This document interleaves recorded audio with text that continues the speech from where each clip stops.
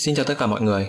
Hôm nay mình có một bài phân tích về Eternal Mangekyo Sharingan, hay còn gọi là vạn hoa đồng tả luân nhãn vĩnh cửu trong manga anime Boruto. Trong bài phân tích, để không bị dài dòng, mình sẽ dùng các từ viết tắt như MS Mangekyo Sharingan, vạn hoa đồng tả luân nhãn, MS Eternal Mangekyo Sharingan, vạn hoa đồng tả luân nhãn vĩnh cửu Quay lại chủ đề của chúng ta, liệu Sarada có thể có được Eternal Mangekyo Sharingan hay không? Theo mình, đó là điều hoàn toàn có thể, và sau đây sẽ là một loạt các dẫn chứng mình sưu tầm được. Thứ nhất, nhiều bạn nói ở thời điểm diễn ra Boruto đang là thời bình, cho nên việc lên được MS sẽ là không thể. Nhưng nếu theo dõi manga thì các bạn sẽ biết là chuẩn bị có một loạt các diễn biến không lường trước được ở Arch Jigen sắp tới, và việc đổ máu chết chóc là không thể tránh khỏi. Và trong chap 41 thì Sarada đã có Sharingan 3 phẩy. Thứ hai, việc để lên được MS là phải chứng kiến cái chết của người thân nhất của mình. Điều này có đúng hay không? Điều này được tác giả khắc họa rất cụ thể qua các chap của Naruto.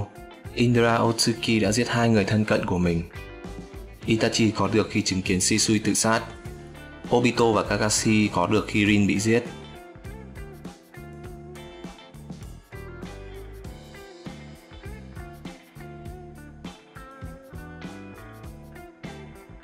Sasuke có được khi chứng kiến Itachi chết.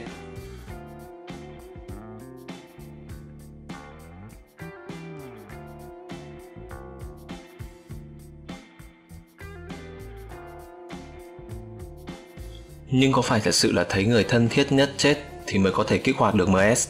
Như đệ nhị đã từng nói, gia tộc Uchiha là gia tộc rất coi trọng tình bạn và tình yêu. Khi họ mất đi thứ gần gũi nhất với mình thì trong não sẽ sản sinh ra một loại chakra đặc biệt và làm nhãn thuật của họ trở nên mạnh hơn. Đó chính là cảm xúc tiêu cực. Một mặt khác, trong Boruto, Sarada đã đánh thức được Sharingan một phẩy khi trên đường gặp lại Sasuke. Trong cái trạng thái hồi hộp và phấn khích thì đó lại là cảm xúc về mặt tích cực. Vậy nên, theo quan điểm cá nhân của mình thì chỉ cần có cảm xúc, không kể tiêu cực hay tích cực, bị đẩy lên đến tột cùng thì cũng sẽ kích hoạt được MS. Và như trailer đầu tiên của Boruto, làng lá bị hủy diệt, đổ nát khắp nơi. Điều đó càng làm rõ lên việc Sarada có MS là điều hoàn toàn có thể. Và điều thứ ba, Sarada có thể lên được MS không? Câu trả lời của mình là hoàn toàn có thể. Đầu tiên, hãy làm rõ về điều kiện để có thể lên được MS.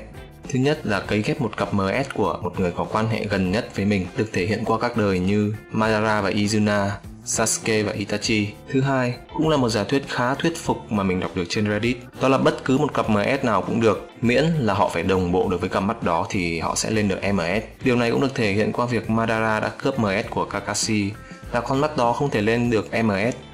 Với giả thuyết cấy ghép mắt thì có thể người hiến mắt cho Sarada là Sasuke khi mà có tin đồn rằng Sasuke và Naruto sẽ chết ở trong Boruto. Nhưng Sasuke chỉ có một MS, còn lại là Rinnegan. Đa số cho rằng Sarada chưa đủ sức mạnh để gánh nổi đôi mắt của Sasuke. Hơn nữa, tác giả cũng không làm rõ việc cấy ghép mắt ở đây là kết hợp hai mắt hay chỉ thay mắt của người thân nhất vào mắt của người nhận. Nếu như vậy thì sau khi Sasuke thay mắt của Itachi thì rất có thể cặp MS của Sasuke vẫn còn và đang nằm đâu đó ở dưới mật thất của Obito.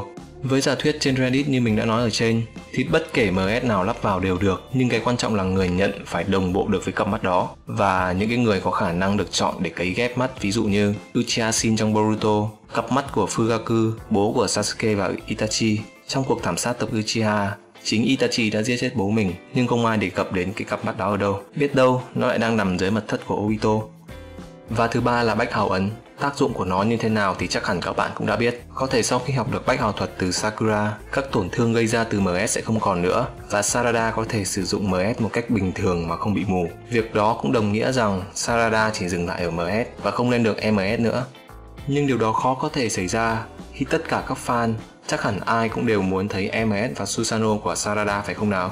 Và cuối cùng thì với sự xuất hiện của nhà khoa học xuất chúng như Amado, đó cũng có thể là nhân tố giúp Sarada có thể lên MS. Đó là những giả thuyết của mình. Còn các bạn thì như thế nào? Comment xuống phía dưới để cùng nhau bình luận.